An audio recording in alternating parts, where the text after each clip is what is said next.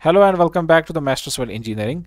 In this video, you will learn that how to derive the ordinates of a unit hydrograph of different duration from a given unit hydrograph's ordinate using superposition method. Okay, I have been given a question which states that given below are the ordinates of a 4 hour unit hydrograph as below and we have to derive the ordinates of a 12 hour unit hydrograph for the same catchment using the superposition method. Okay, the first uh, row is showing the time in hours and second uh, row is uh, showing the ordinate of a 4 hour unit hydrograph in meter cube per second okay? So at time 0 ordinate is 0 at time 4 hour ordinate is 20 and so on for the rest of the uh, time uh, uh, for the rest of the time okay?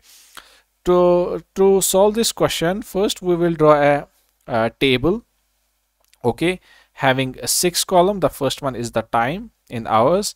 Second uh, is the ordinate of the four hour unit hydrograph. First ordinates are uh, same which is given in the question okay? Uh, they start from time zero. Second column uh, we will write the same ordinate but they will be lagged by 4 hour okay? And for the third column we will again write the same ordinates uh, of the given 4 hour unit hydrograph but we will lag them by 8 hours okay? And after that uh, we will add these three columns that is ordinates of a uh, given unit hydrograph ordinates lagged by 4 hour and ordinate lagged by 8 hour okay? And finally when you divide these uh, ordinates uh, which uh, you get a direct runoff hydrograph of 3 centimeter okay for a duration of 12 hour. When you divide the ordinates of a direct runoff hydrograph by the effective rainfall which in this case will be 3 centimeter you will get the ordinates of 12 hour unit hydrograph okay? So let's solve the question.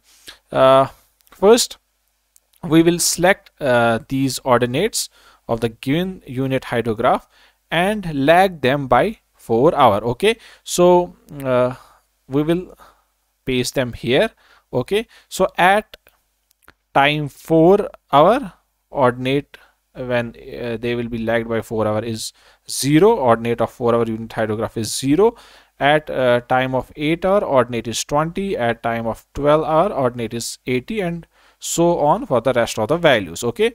Similarly in the fourth column you will write the same ordinates but lagged by 8 hours okay? So again you will uh, select these okay? And you will paste them here. Select uh, first these ordinates and then write them at here at 8 hours. Press ctrl v okay so for time of 8 hours ordinate of 4 hour unit hydrograph is 0 for time of 12 hours ordinate is 20 and so on for the rest of the time values okay? After that you will add these three column that is column 2 plus column 3 plus column 4 and this will give you the direct runoff hydrograph of 3 centimeter for 12 hour duration okay? So you will add these three column that is first you will write equal sign then column second plus column third okay plus column 4 here uh, column third and 4 is 0 so you will only uh, select column first okay. After that for the second time you will again write equal and add uh, the three columns. So that is 20 plus 0 plus 0 okay?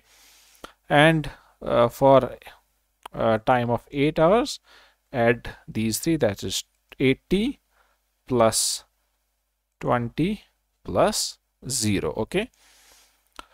After that you can uh, drag it till the last row and excel will automatically calculate for you the values okay so uh, this direct runoff hydrograph of 3 centimeter for a duration of 12 hour it will be the sum of ordinates of 4 hour unit hydrograph ordinates lagged by 4 hour and ordinates lagged by 8 hour okay? And you know that to get the ordinates of the unit hydrograph you simply divide the ordinates of the direct runoff hydrograph by effective rainfall. Here the effective rainfall will be 3 centimeter okay? That is 1 centimeter for the given uh, unit hydrograph 1 centimeter for uh, unit hydrograph lagged by 4 hour and 1 centimeter for unit hydrograph lagged by 8 hours so total will be 3 centimeter of effective rainfall. And when you divide the direct runoff hydrograph by the effective rainfall which is 3 you will get the ordinates of a, a unit hydrograph for a duration of 12 hour. Okay.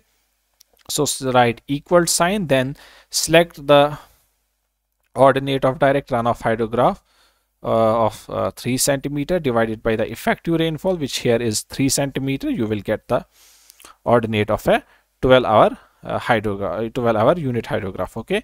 And then you will select the first row and drag it till the last row and excel will automatically calculate mm, for you the values okay? One second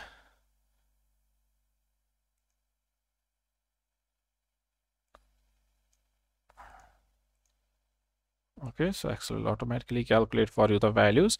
I think here the values are rounded off so increase the decimal place. This will give you the actual ordinates okay? So ordinate of unit hydrograph at uh, 4 hour is uh, 6.67 okay?